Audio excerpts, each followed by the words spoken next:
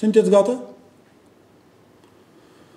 După cum cunoașteți, azi uh, a avut loc ședința reprezentanților celor patru fracțiuni. Am avut discuții timp de două ore. Uh, eu din start vreau să vă informez că platforma DA a discutat doar despre problemele agriculturii și eu am avut mandat exclusiv pentru aceste dezbateri. Celelalte întrebări, nu că celelalte întrebări nu sunt importante, dar uh, noi pe celelalte întrebări nu odată ne-am uh, expus că această guvernare, acest guvern nu a gestionat corect uh, criza pandemică, criza social-economică și celelalte subiecte și noi considerăm că țara are nevoie de alt guvern. Dar am căzut de acord să discutăm problemele agriculturii, întrucât uh, aici timpul uh, noi nu avem, deciziile trebuie să fie luate în câteva zile și aici am căzut de acord chiar cu acest guvern cum el este să discutăm problemele agriculturii. Uh, în contextul protestelor care sunt azi care au ieșit fermierii și eu, profitând de ocazie, uh, vreau să exprim solidaritatea întregii fracțiuni Platforme Da și Partidului Platforma Da cu uh, revendicările agricultorilor, cu protestul lor. Revendicările fermierilor sunt absolut justificate uh, și Acum, sarcina numărul unu pentru guvern și parlament ar trebui rezolvarea acestor probleme. Probleme, problemelor fermierilor, problemelor satelor. Noi uh, am constatat diferența de abordări destul de mare și cea mai mare um, diferență și cea mai mare neînțelegere a fost legată de uh, declararea ședinței extraordinare a Parlamentului. Uh, opoziția și în special platforma DA au insistat la fixarea datei ședinței. Adică dacă colegii de la majoritatea parlamentară uh, sunt sinceri și nu au venit la această ședință de dragul ședinței, de dragul bifării și punerei păsărișii, că, că iată, uh, noi am, am venit la dialog, că noi vrem dialog, da, dialog nu se face de dragul dialogului. E nevoie de rezultate palpabile. Să vii acum la fermiere care sub soarele stau acum cu, din 14 raioane cu uh, mii de tractoare și să spui că noi, iată, am pornit dialog și azi mai facem dialog și azi mai continuăm dialog și azi mai facem dialog peste dialog, ar fi irresponsabil. Și noi, absolut deschis, am spus acest lucru colegilor de la Partidul Democrat și colegilor de la PSRM. E nevoie de decizii palpabile și aceste decizii ce țin de fondul de, de majorare fondului de subvenționare, declararea stării de urgență, instituirea vacanței fiscale, ele nu pot fi adoptate fără intervenția Parlamentului.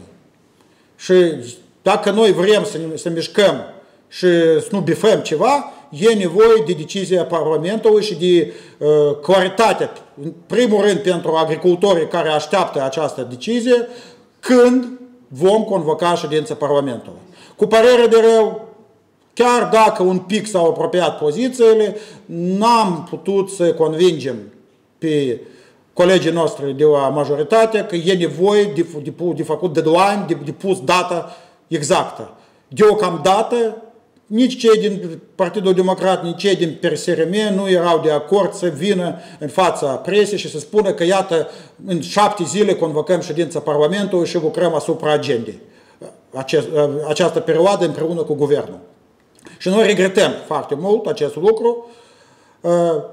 Am, unicul lucru la care am convenit, azi la orele două, un grup de lucru ad hoc cu reprezentanții de la fiecare fracțiune, să începem audieri pe ministri, factori de decizie, pe reprezentanții băncii naționale, probabil și cu prim-ministru dacă o să avem întâlnire, azi, cel târziu, mâine dimineață, să identificăm împreună cu executivul soluții pentru fermieri, astfel încât guvernul să vină cu inițiativa acestor decizii în cadrul Parlamentului, dat fiind faptul cu, cu părerea de rău, chiar dacă identificăm 51 de deputați, noi nu avem dreptul să uh, declarăm starea de urgență fără propunerea guvernului, noi nu putem rectifica bugetul fără avizul guvernului pozitiv, conform Constituției, noi nu putem institui vacanță fiscală fără decizia guvernului. Azi, după masă, până mâine dimineață, încercăm să găsim soluții. Și o să vedem dacă, într-adevăr, există măcar un gram de responsabilitate pentru a salva agricultura și noi putem să mișcăm mai departe, sau această discuție a fost doar pentru a bifa ceva. Uh, vom uh, analiza, vom discuta cu ministrii, noi avem agenda noastră pentru ordine de zi, agenda noastră pentru ședința extraordinară.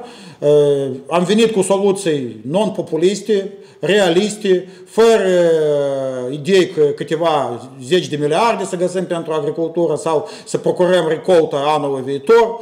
Noi am venit cu trei soluții la ceea ce vor fermierii. Cum să majorăm fondul de subvenționare și de unde luăm bani, să declarăm starea de urgență și să instituim vacanța fiscală. Și aceste lucruri azi o să încercăm să uh, identificăm. Din start, anunț pe agricultorii și pe toți uh, cetățenii, am spus acest lucru și în cadrul uh, ședinței de lucru, uh, nu vom accepta tărăgănarea.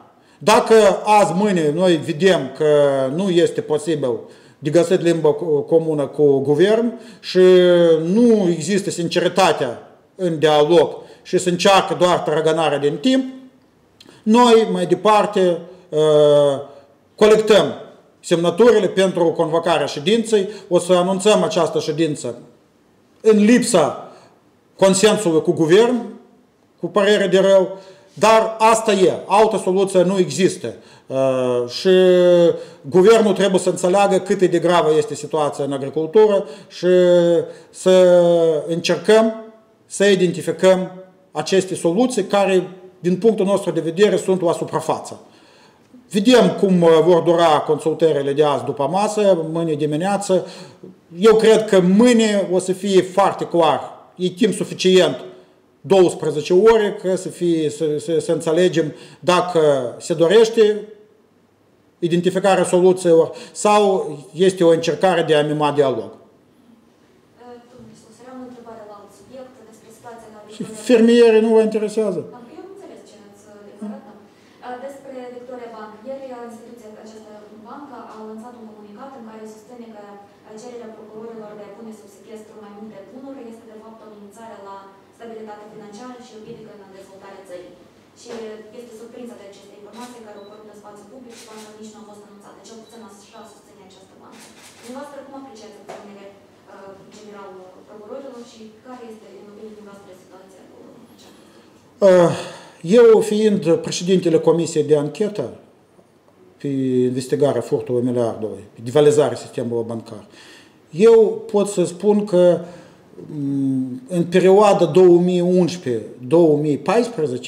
au fost mai multe lucruri neclare, netransparente din punctul meu de vedere, comisie, nu de banca în întregimea, dar de câteva persoane care făceau parte din anturajul lui Vlad Plahotniuc și atunci conduceau Victoria Bank.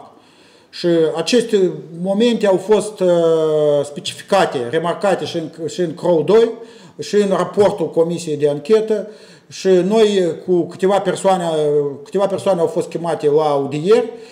Din punctul meu de vedere, desigur, eu nu cunosc datele anchete. Eu nu cunosc toate explicațiile și motivele uh, Procuratură Generală. Din, punct de, din punctul meu de vedere, Procuratura ar trebui să ia măsuri cu persoane concrete din fosta conducere Victoria Bank care au participat și au facilitat mai multe afaceri și tranzacții obscure începând cu 2011, când a fost, uh, a fost acea tranzacție uh, ascunsă, vestită de 80 de milioane de dolari, când acțiunile uh, BEM, Victoria Banca, Seto au fost vândute de la Plahotniu către Platon. Și asta tot a fost cu încalcarea normelor de prudent, exigențelor de creditare și sub patronajul conducerii Victoria Bank. Dar au fost persoane concrete, cu numele concrete și din punctul meu de vedere aceste persoane trebuie să răspundă pentru lucrurile care au făcut.